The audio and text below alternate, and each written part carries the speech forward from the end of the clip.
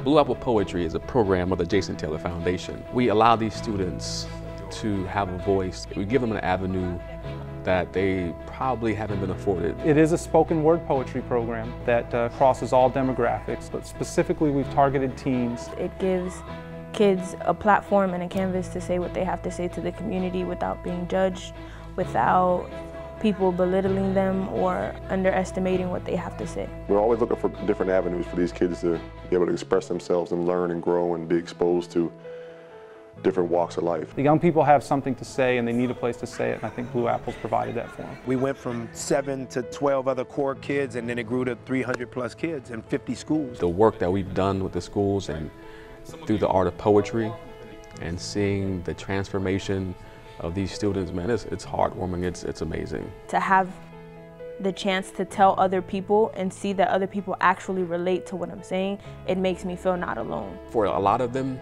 it saves them. I used to cut myself and then I started getting to poetry. Like there's a different way to express yourself. Unfortunately, sometimes it's very painful and, they, and they're talking about very real and raw experiences they faced in their life. You hear about family, you hear about um, relationships, broken relationships. Some of it violence, um, some of it sexual abuse or depression. So it kind of gives them an avenue to let go a lot of the negative. That's one less kid that we might have to worry about committing suicide. The kids need it.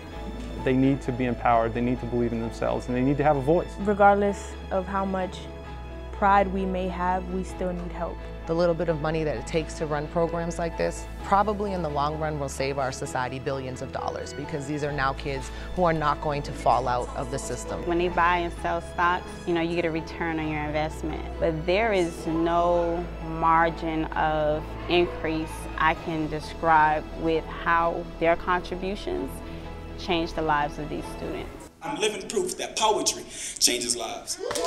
These students, they're, they're us. We're your future. We're your future doctors, lawyers, authors, artists. We're the future of the country, so you're investing in the future of the country.